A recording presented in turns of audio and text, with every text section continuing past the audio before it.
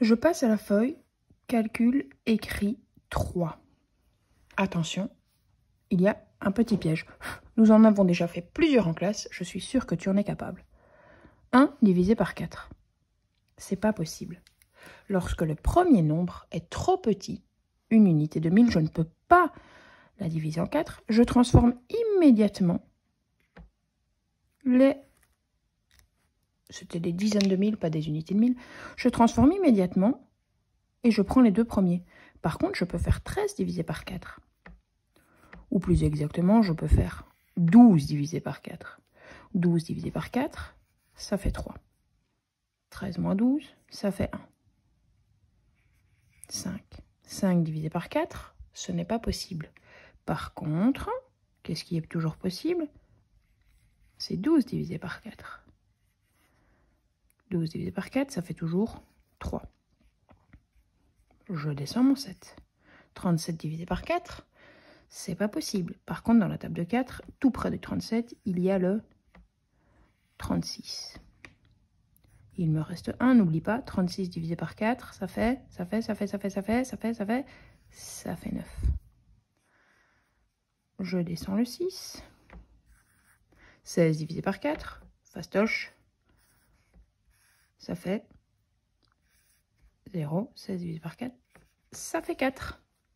Et voilà ta réponse. 26 744 divisé par 8. Je ne sais pas si tu as remarqué, mais je n'ai plus fait les colonnes ici à droite. Tu n'en as plus besoin. Regarde. 2 divisé par 8, c'est pas possible. Donc je prends directement 26. 26 divisé par 8, c'est pas possible non plus, mais par contre, je peux trouver un nombre dans la table de 8 qui est tout près de 26. 8, 16, 24. Et 24 divisé par 8, ça fait 3.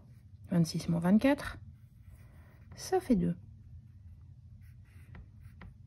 27 divisé par 8, 8, 16, 24, 32. Bah non, 32 c'est trop. Donc je prends de nouveau 24. Et je sais que 24 divisé par 8, ça fait toujours 3. «